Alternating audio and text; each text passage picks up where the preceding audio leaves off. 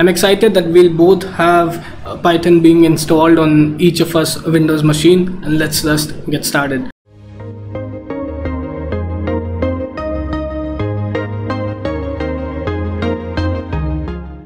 So what you'll need to do is you'll just need to come to python.org that's the official site for Python and this is the little symbol that you would see then you would just simply go to downloads and we'll install it for Windows okay so there'll be a lot of uh, various versions coming in for Python but uh, whatever versions that you see here they'll have maintenance status uh, appropriately right? So 3.7 is the latest version of python which has lts lifetime support right? So now we'll be installing the latest version on our windows machine.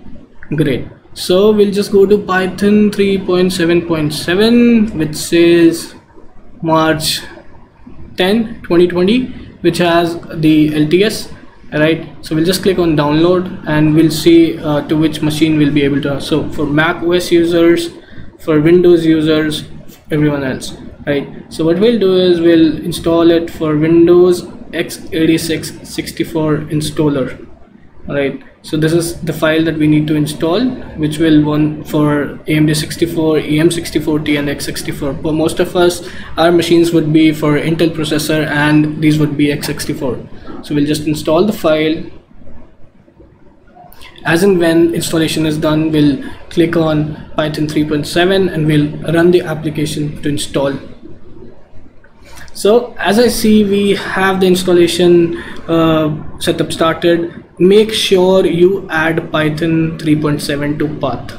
This is highly important and highly recommended because most of the times installation breaks when you don't really add python 3.7 to path and you'll have to make custom changes in windows file system so to make it run right? If your python is not running right now correctly on your system i recommend you to go to control panel and remove it and then install it and make sure to tick on add python 3.7 to path right? So we'll just install now which includes idle that's the text editor that we have for python. Pip is the package manager and certain documentations. So when you click on install now you'll have this pop-up come to your screen. You'll just click ok and then you'll just move ahead and let python install on windows machine right so as soon as this installation is done we'll go through and write a hello world program. That's the entry program that's there for uh, writing in uh, the python on your system right? So let's just wait for it to get done.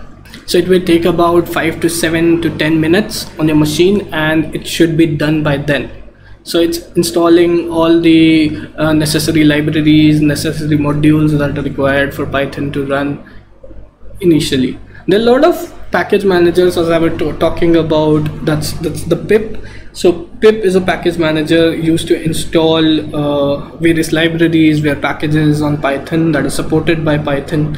So in this course uh, that we are having for class 12 cbse syllabus so we'll be having a lot of libraries putting in to our uh, python programs in order to receive a lot of uh, you know good outputs good uh, ideations good concepts that is possible uh, with single programming language that's python so why python and uh, you know the lot of other things? Why python in 2020 why python for cbse class 12 then uh, that is something uh, i have another video where i talk about class 12 cbse syllabus. I talk about uh, you know other uh, uh, you know things about uh, CBSE, why CBSE chose Python, why, uh, what's the significance of Python, what can you do with Python. So there are a lot of uh, other videos that I have, and all the links would be in description. So don't forget to check it out.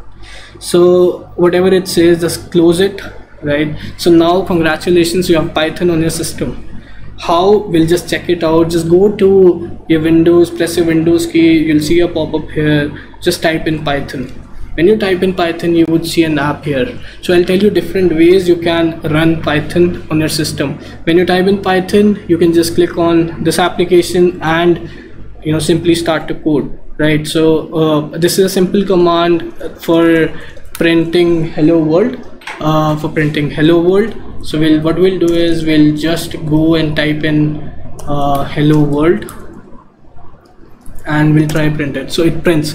So that means uh, python is correctly installed on your windows machine. So what different ways are to open or to run python programs? One is this. Just simply type in python and you'll have an app uh, coming over here and you'll be able to run it.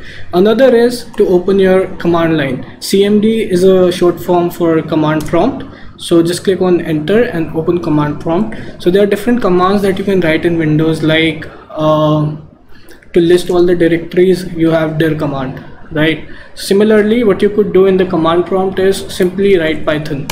So you'll have your python uh, running right in your command line. Great.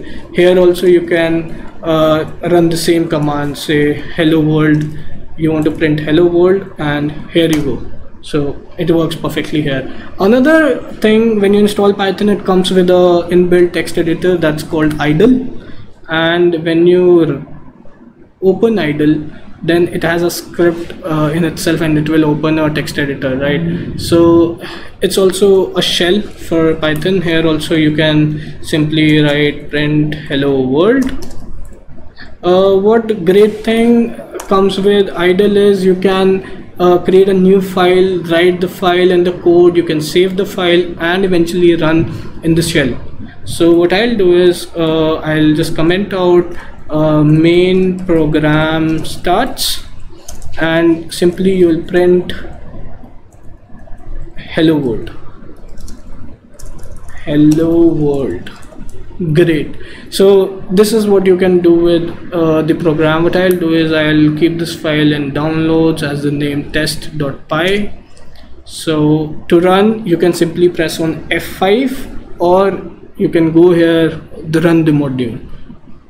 So it prints hello world for you. So this is how you can simply make use of a text editor when you install python on your windows machine so i'm sure you are you would have installed python correctly on your machine. And if there's any issues that you're finding with python installation just have uh, the comment in the description or comments and i'll be able to help you with uh, the installation process. And also i have different recommendations of running python program easily on the cloud.